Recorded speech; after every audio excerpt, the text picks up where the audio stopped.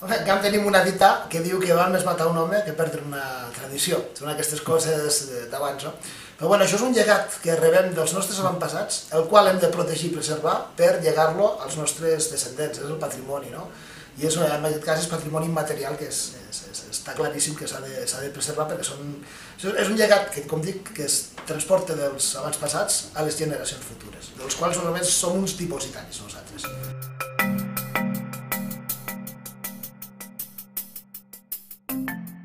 Ho fan molt bé les, la, la Fundació i els he de felicitar precisament per això, per preservar la cultura, el patrimoni, per fer-lo viu i per donar-lo a conèixer als usuaris i els usuaris ho donen a conèixer a l'endemés. Felicitats.